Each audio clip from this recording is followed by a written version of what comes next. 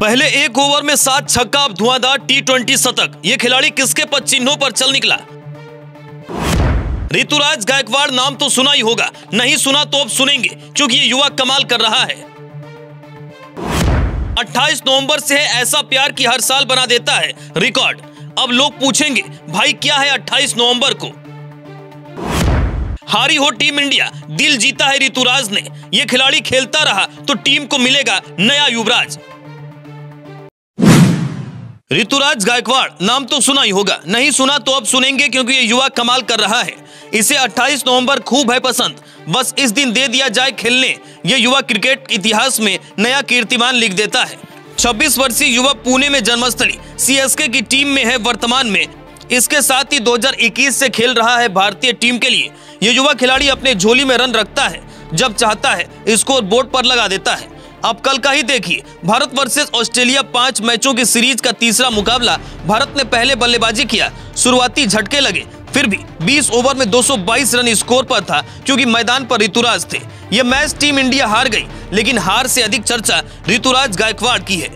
ऋतुराज गायकवाड़ ने इस मैच में संतावन गेंदों पर नाबाद 123 रन बनाए। इस दौरान उन्होंने 13 चौके और सात छक्के जड़े। उनका 123 रन रिकॉर्ड बन गया, क्योंकि टी के इतिहास में ऋतुराज ने भारत के तरफ़ से दूसरी सबसे बड़ी पारी खेली। इससे पहले ये रिकॉर्ड विराट कोहली के नाम था। विराट कोहली टी में नाबाद 122 रन बनाया था। अब कोहली तीसरे नंबर पर आ गए हैं। पहले नंबर पर शुभमन गिल है। टी में सबसे बड़ी पारी खेलने वाले भारतीय शुभमन गिल हैं। शुभमन गिल ने टी में नाबाद 126 रन बनाए हैं। उनके इस रिकॉर्ड के साथ एक और रिकॉर्ड की चर्चा खूब हो रही है। शतक जड़ने की तारीख है 28 नवंबर। साल 2022 में भी 28 नवंबर को ऋतुराज ने इतिहास रचा था। इस भारतीय धुरंधर खिलाड़ी ने साल 2022 में एक ओवर में सात छक्के जड़ दिए थे। घरेलू क्रिकेट में महाराष्ट्र का प्रतिनिधित्व करने वाले ऋतुराज गायकवाड़ ने 28 नवंबर 2022 को यह इतिहास रचा था। 28 नवंबर 2022 को महाराष्ट्र और उत्तर प्रदेश के बीच विजय हजारे ट्रॉफी का क्वार्टर फाइनल मैच खेला गया था।